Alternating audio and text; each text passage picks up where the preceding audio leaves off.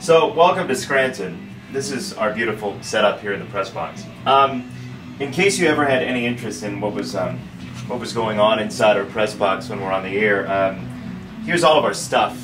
Mike, you want to show them the stuff? Showing them the stuff. We're getting a good look at Okay, it. That's great. Um, first of all, this is my computer.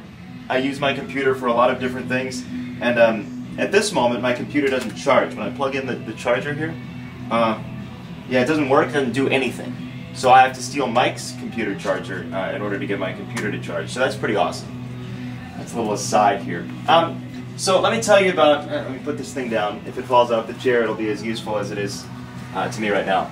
So this this piece of equipment um, is is called the Matrix, right? It has nothing to do with Neo or Keanu Reeves or Laurence Fishburne or anything like that. This is how we dial the studio. Um, the studio actually dials us. So we um, we plug a phone line into the back of this thing.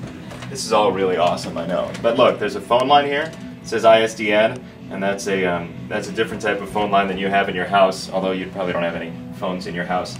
Um, well, cell phones.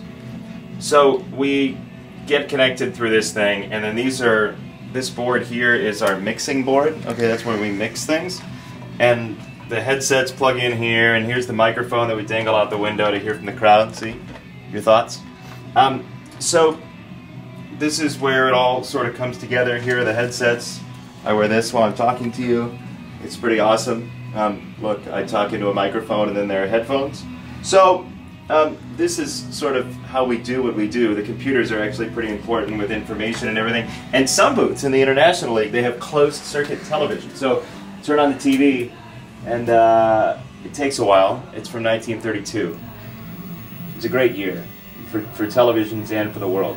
So this uh, this TV, which has nothing on it right now, actually has a closed circuit television feed of um, the TV broadcast that they do from two booths over.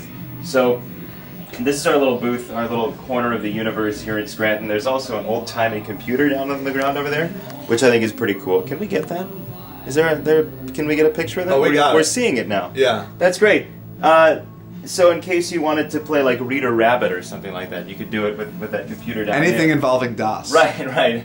Your your DOS prompt, your typical DOS prompt.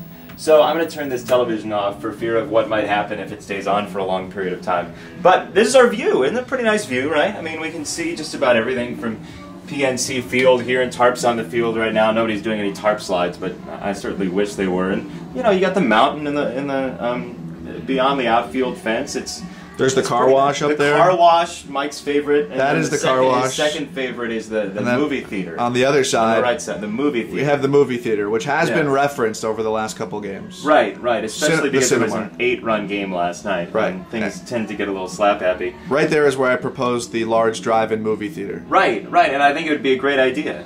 Um, you could get all the crazies out and, and watch a film. Um, this is this is the baseball that we brought into the booth last night to try and avoid uh, baseballs coming through here. As you could see, I think probably as Mike was shooting that um, on the field, we are in prime territory for a left-handed batter to shoot a laser beam up here, and it happened last season. The back of the booth got hit with a baseball. There's But, still um, a, there's still a bit of a, a Is there a dent. mark? I think there a little above the thermostat, yeah.